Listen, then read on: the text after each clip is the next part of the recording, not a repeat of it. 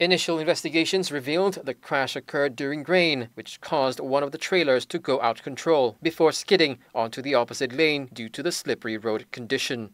The vehicle was then rammed by the oncoming lorry, while the three other vehicles hit each other while trying to avoid the accident.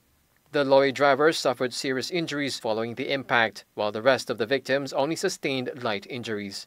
Firemen and ambulance were rushed to the scene, and all the injured victims were sent to the Kuala Kubu Baru Hospital for treatment. However, a few hours later, another crash occurred on the opposite lane when highway workers were cleaning the vehicles involved in the first accident. A four-month pregnant woman was seriously injured after her Perodua Myvi was rammed by two other vehicles.